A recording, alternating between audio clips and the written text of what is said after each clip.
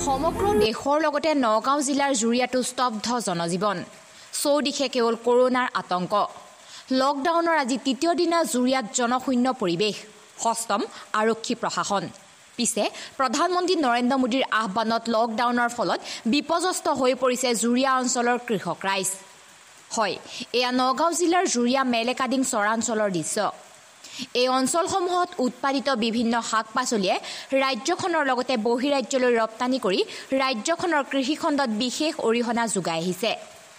সম্প্ৰতি লকডাউনৰ ফলত এইসকল কৃষকে নিজৰ কষ্টোপাৰ্জিত কেঁচামালসমূহ বজাৰত বিক্ৰী কৰিব নোৱাৰাত মূৰত সৰগ ভাগি পৰা পৰিৱেশৰ সৃষ্টি হৈছে খাটি খোৱা লোকসকলৰ।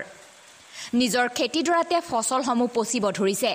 উল্লেখ্য যে জুৰিয়া শিংগাৰীত ডুমডুমীয়া আৰু দগাঁৱত পাচলিৰ এক বৃহৎ বজাৰ বহে যদিও কৰোণা ভাইৰাছৰ বাবে লকডাউনৰ ফলত এইদৰে শ শ বিঘা পাচলি খেতি পচি বিনষ্ট হ'ব ধৰিছে।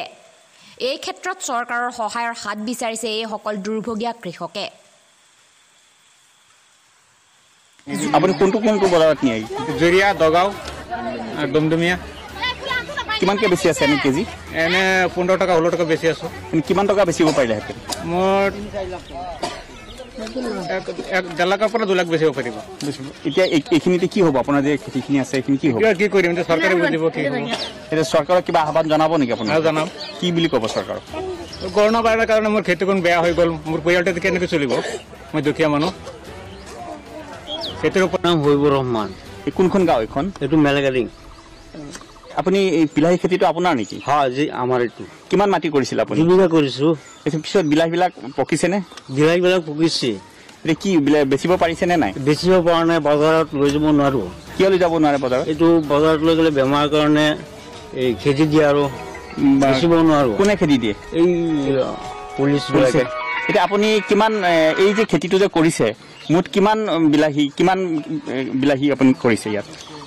দুই বিঘা মান কৰিছো। কিমান টকা বেচিব পাৰে আপুনি বছৰেকত দুই বিঘাৰ পৰা? দুই বিঘাৰ পৰা মই পঞ্চাছ হাজাৰ ষাঠি টকা ষাঠি হাজাৰ বেচিব পাৰো। এতিয়া এইবাৰ কিমান বেচিছে? এইবাৰ বেচিব নোৱাৰিলো। এইবাৰ বেচিব পৰা নাই? পৰাই নাই। কিহৰ কাৰণে পৰা নাই? বজাৰত নিব নোৱাৰিলো। আপোনালোকে বজাৰত নিব নোৱাৰে। নোৱাৰে। কিহৰ কাৰণে নিব নোৱাৰে এইটো বন্ধ থাকে আৰু পুলিচ বাহিনীয়ে মোক যাব নিদিয়ে বজাৰত। আচ্ছা এতিয়া যে আপোনাৰ বিলাহীবিলাকে পচিছে এতিয়া চৰকাৰক কিবা ক'বনে? আপুনি? হয় দয়া কৰি যদি চৰকাৰে কিবা দিয়ে আমাক তো নহ'লেতো মই মৰিবই লাগিব। কাৰণ একৈশ তাৰিখলৈকে আপুনি ওলাব নোৱাৰে। আপুনিতো একৈশ তাৰিখে ওলাব নোৱাৰে। চৰকাৰে যদি আপোনালোকৰ ইয়াৰ পৰা আহি পেলাই যদি গাড়ী দি পেলাই বস্তুখিনি নিয়ে তেতিয়াহ'লে আপোনালোকে বেচিবনে? হয় জি বেচিব পাৰিম। কিমান অলপ সুলভ মূল্যত সুলভ মূল্যত বেচিব আপোনালোকে? জি। হয়। কোনখন গাঁও এইখন? এই যে বিলাহী খেতিটো দেখিছো এইটো আপোনাৰ নেকি? আমাৰ। কিমানটো কৰিছিল খেতি? এতিয়া চাৰিকালা মাটি কৰিছে কিমান টকা খৰচ হৈছিলে খেতি ত্ৰিশ হাজাৰ খৰচ গ'ল এই কিমান টকা বেচিব পাৰিলেহেঁতেন? এতিয়া পঞ্চাছ হাজাৰ ষাঠি হাজাৰ টকা লৈছে এতিয়া আপুনি বেচিব পাৰিছে নেকি এইবাৰ? নাই এক পইচা বেচা নাই। কোন কোন কোনকেইটা বজাৰত বেচে আপোনালোকে এনে? জুইজা বেচো বেচো জগা বেচো। এতিয়া কিহৰ কাৰণে বেচিব পৰা নাই? এতিয়া গণ্ডগোল লাগি গ'ল বন্ধ কৰি দিলে চৰকাৰে।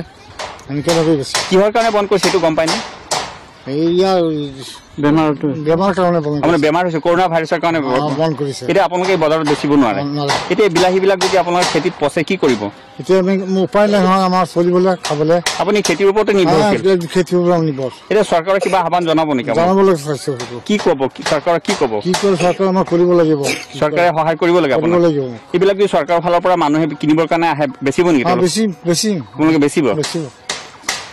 মেলেকাটিং কৰোণা ভাইৰাছৰ কাৰণে লকডাউন দিছে কেনেকুৱা প্ৰভাৱ পৰিছে ইয়াত? মানে আমাৰ ভাৰত চৰকাৰে যিটো মানে আইন পাছ কৰি লকডাউন কৰোণা ভাইৰাছৰ ক্ষেত্ৰত সেইখিনি কিন্তু আমাৰ ৰাইজে পূৰামি কৰি আছে পূৰা হাণ্ড্ৰেড পাৰ্চেণ্ট চলি আছে আৰু যিখিনি মানে মানুহ অলপ নুবুজা মানুহ আছে। জুৰিয়াৰ পৰা এম আৰ চৌধুৰীৰ ৰিপৰ্ট নামনি অসম নিউজ